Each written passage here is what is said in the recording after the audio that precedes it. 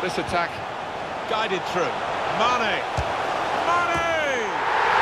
Supremely done against the goalkeeper by Sadio Mane. You know what you're getting, but stopping Mane is another question altogether.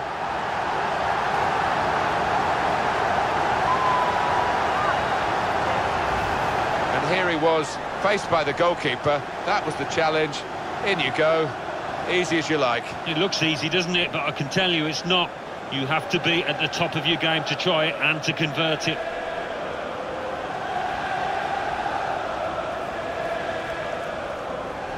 It's been tight before that goal, but now the manager, he's so pleased because I reckon he feels his team can go on and win this.